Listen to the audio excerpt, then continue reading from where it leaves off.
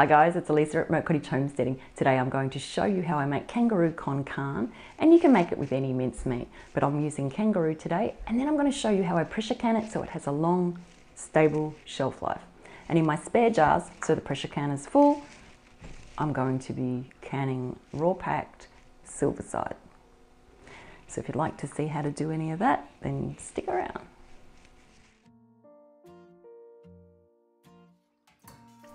Prepare your dry beans the night before. We've got three cups of dried kidney beans and we're rinsing them until the water runs clear and then soak them overnight for about 12 hours. The next day, add your butter and a little bit of oil to a pan and then slowly brown your kangaroo or meat of choice on a low, slow heat because you don't want it to go crispy, you just want it to cook, so just lightly cooked so it's brown. Separate it all up. I cook it in batches so that there's not too much in the fry pan. For this recipe we need 3 kilograms of the mincemeat and like I said I'm using kangaroo mincemeat but you can use any type of mincemeat that you like. Preferably the darker meats work best in this recipe. Once the meat's cooked put it into your slow cooker. To that add your tomatoes. So it's chopped diced tomatoes. I'm using four pint jars worth. On a clean fry pan, add some butter, a little bit of oil, and about 500 grams of diced onions. And like with the meat, you want to cook it low and slow so that it doesn't burn and it cooks nicely. Once it's browned, add in your tablespoon of dark brown sugar and mix that in. Add in three cloves of minced up garlic. And I don't cook this for very long at all, probably about 60 seconds. I just mix it in. Once it's mixed in, it's ready to go straight into the slow cooker.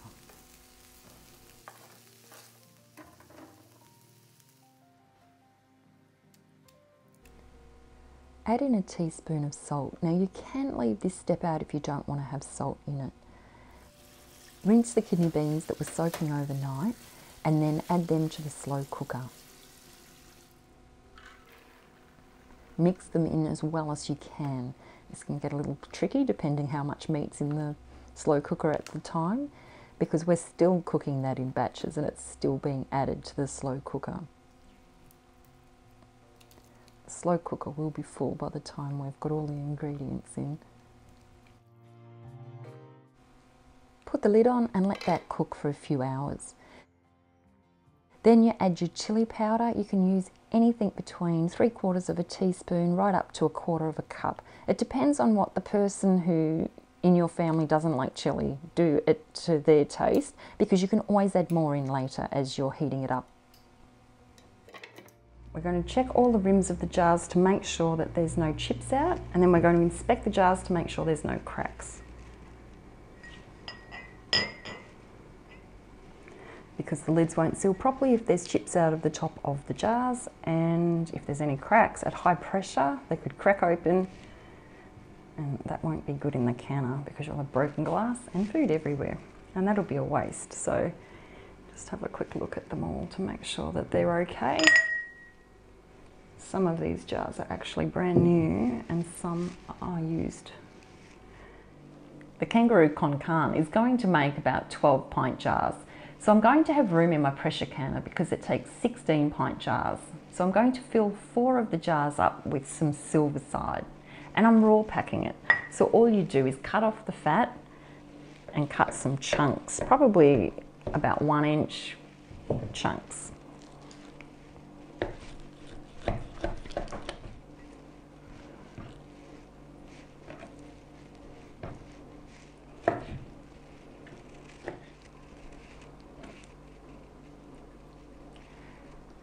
The meat as you go so that you can fit as much in the jars as you can.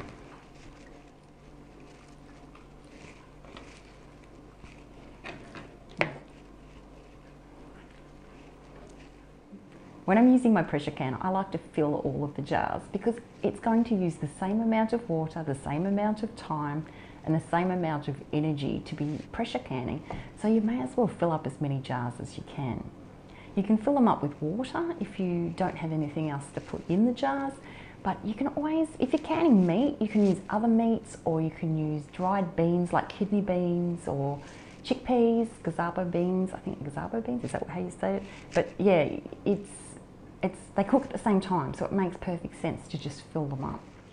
If you've never pressure canned dry beans before, then check out my canning duck video because I pressure can chickpeas in that and it shows you the measurements to water ratio and the headspace and all of the finer details when you're canning dried beans so that they don't explode out when they swell up in the pressure canner when they're cooking.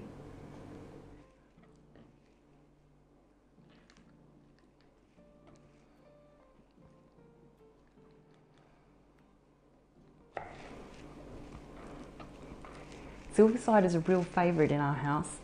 I make a silverside salad and that is silverside cooked and cold, broken up into pieces with diced apple, Granny Smith apple because it's nice and juicy, but you can use whichever apple you like, and tzatziki dip, and that's a salad. And I invented that about 20 something years ago when my eldest child was young and we were going for a picnic and that's all we had in the fridge. It must have been the day before we went on our monthly shop. And it's such a favourite here that it gets requested for Christmas lunch. You can really fit a lot of meat into these jars. It always fascinates me. You have a big chunk like that and it really, it just fit into four jars. Meat needs one inch headspace. Now I will be topping these up with some water so that there is one inch headspace. You can just jar them up like this with the one inch headspace to the meat and they will create their own juices. It's up to you. I'm adding filtered water to give it one inch headspace.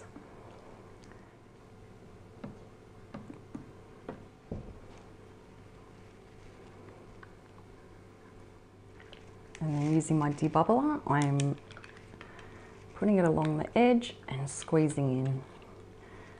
And then I'll have to top it up. So along the edge, squeeze it in and the water will go down and fill up any of those air pockets.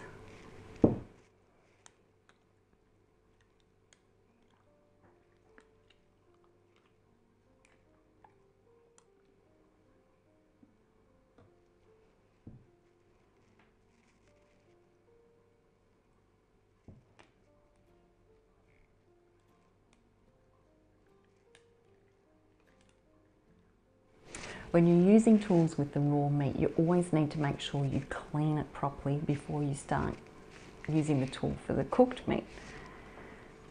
We'll get our headspace. It's one inch, one inch. You've got to have it right. Otherwise, the lids may not seal properly. I've got a clean cloth here and I'm going to dip it into the vinegar and clean the tops of my jars. So the rims of my jars have no residue of the oily meat and they will seal properly. Or at least they'll have the best opportunity to seal properly. So we'll do all of those meat ones first. And then with the dry part of the cloth, we'll just go over the top of the vinegar.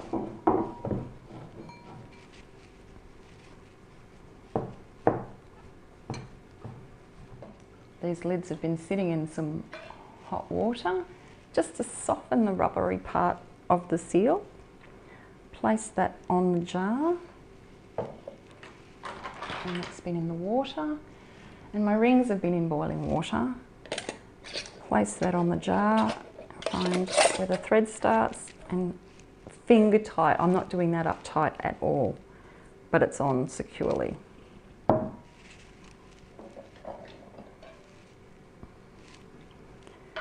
Centre the lid, one that's in water.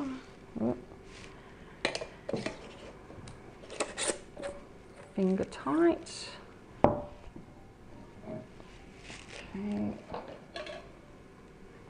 Get the excess water off. Centre the lid on the jar. Find a ring that's been under the water. And finger tight.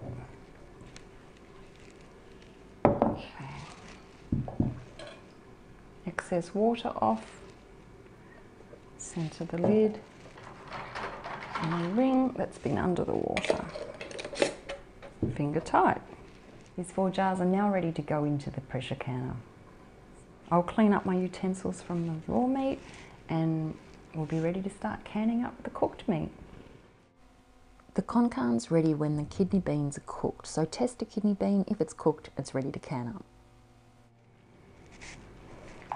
Give it a bit of a mix up so that everything's mixed up properly. It smells really good, guys.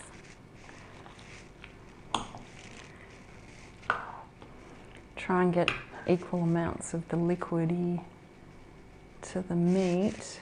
Try and make the jars even. Okay, this is going to get messy. I might move that. Fill up the jars, leaving one each headspace.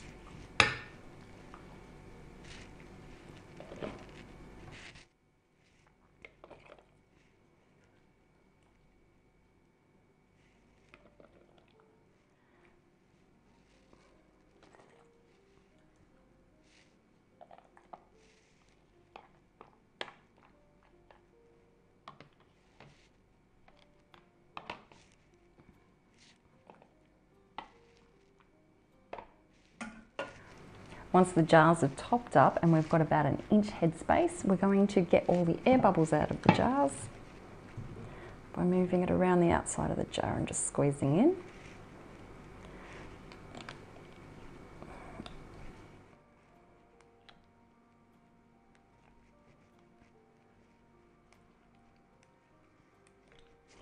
Check the headspace.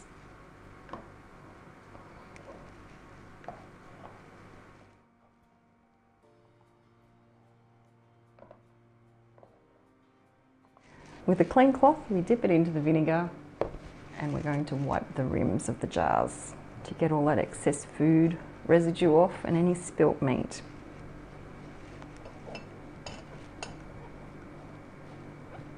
Make sure you don't miss any. I've got the pressure canner on the stove top and the stove top's on. The raw packs are in there waiting as it heats up and these jars, because they're quite hot, will go into the hot water. And with the dry side of the cloth, we wipe them all down. So we'll wipe it down and we'll lid as we go so we know where we're up to. Get all the excess water off, center the lid, get a ring that's under the water and screw it on finger tight. Using the clean cloth, wipe the rim of your jar. Get the excess water off your canning lid. Place it on the center of your jar. And screw your canning ring on, finger tight. Canning's not difficult. There's just a lot of little steps you have to remember to get it right. And you want to be safe so it's a good idea to follow your canning book. If you've got a ball mason canning book, the blue book is really good for beginners because it has step by step of everything you need to do. And they're tested recipes as well. Finger tight. If you're new to canning and you need a more in-depth video on how to can, then check out my pressure canning duck video. You can use any meat. I used duck because I had duck that I'd processed from Moat Cottage. But it goes into good detail. Even if you're a vegetarian or vegan, I show you how to can chickpeas in that video. And it's a very in-depth, step-by-step video for a new beginner canner.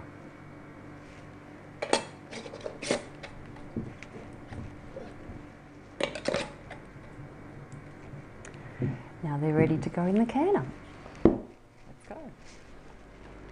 the canning racks on the bottom. We've got the four raw packed jars of meat in there. I've also got the water and vinegar in my canner as well.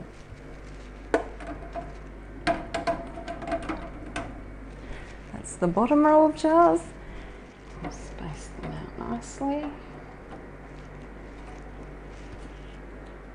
Add your second rack so you can do your second stack.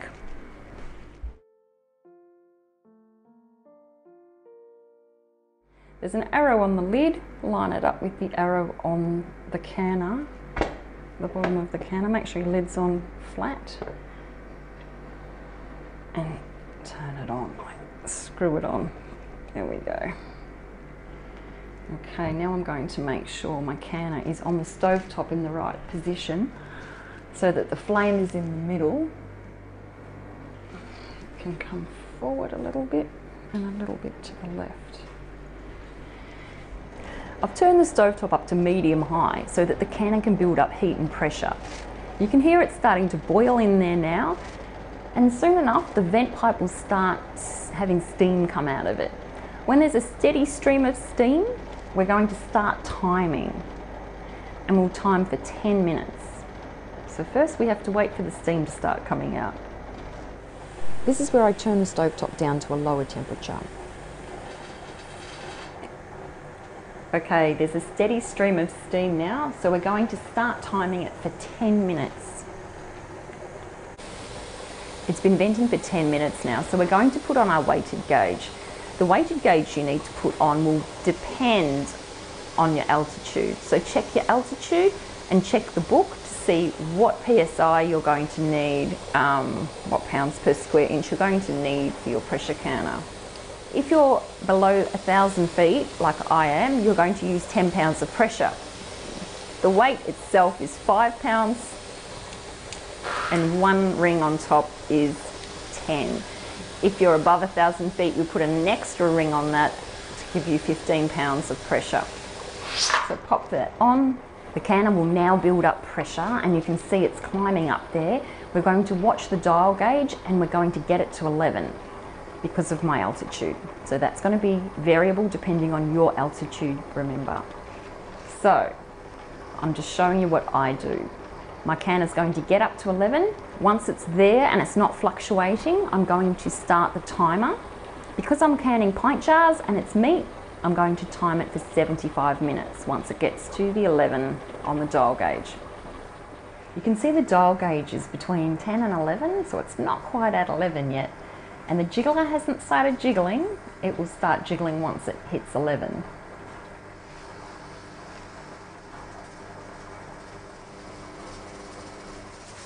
You can see the dial gauge has reached 11 and the jiggler is jiggling.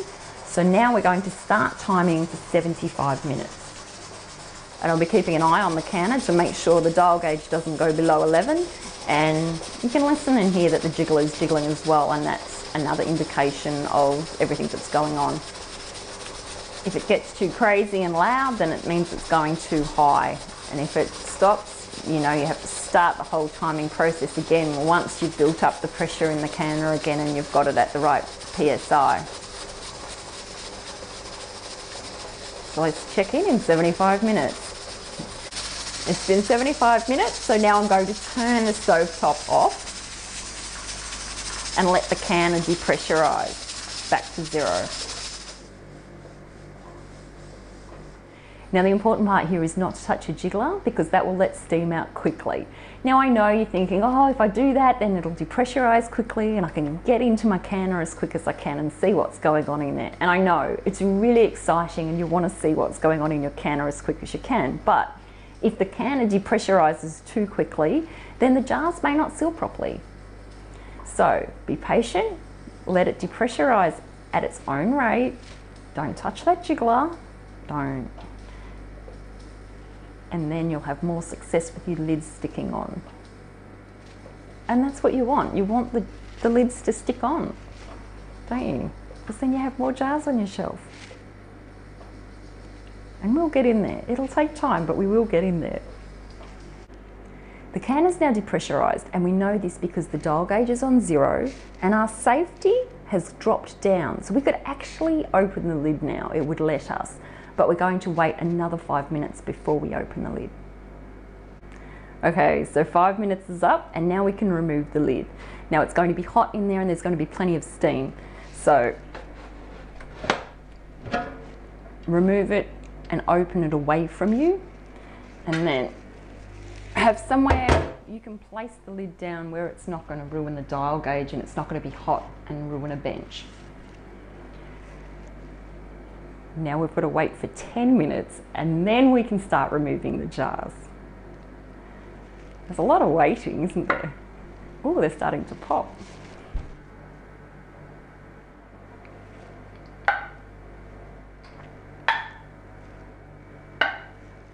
You've got to have somewhere to put your hot jars when you get them out of the canner and you don't want to ruin any bench tops. So have some chopping boards ready and put down some tea towels so they don't get a shock. The hot jars don't get a shock when they go onto the cold surface. And it also helps with mess because I find the bottom of the jars can be a bit sticky and leave rings. So it just makes for easier cleanup if you've got tea towels. When you're removing the jars from the canner, it's a good idea to have a cloth to put underneath to catch any dripping hot water. Make sure you don't slosh the jars around, try and keep them nice and sturdy. And as you can see, that ring is a little bit loose, but don't touch it, just leave it, it's fine. We're gonna leave these jars for 12 hours and then we can start touching the rings. Canning makes the house smell so good. I wish you could smell it. It's beautiful. Look how delicious that is. Can you see that? That looks pretty good. Make sure you put your jars somewhere out of reach where they're not going to get touched because they're going to be hot for a long time and you don't want anyone to burn themselves, especially small children and pets. Now, they also need to be out of reach and sort of out of the way where someone's not going to be tempted to touch the rings because you, you want them to seal and sometimes people want to play with the rings so make sure you tell everyone not to touch them. We'll check in in 12 hours and then we'll be able to see how it's all going then. I love waking up to freshly canned jars and we're going to check them to see if they all sealed and take the rings off. Then we can wash them up in warm soapy water to get all the residue off and we can put them away for storage. Okay, they've all sealed that one didn't. So there's one that didn't seal and that's the silver side, the silver side meat. That's what it looks like canned up. So I will put that in the fridge and we can have that for lunch. Remove the rings. These haven't been loosened up or anything. This is just how easy it should be to take your rings off.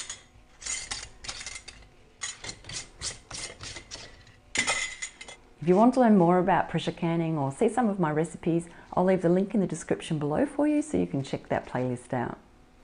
If you have any questions or comments, leave them below. Thanks for watching. I'll see you next time. And I forgot to mention to wash and dry your jars as well as label and date them before you put them away.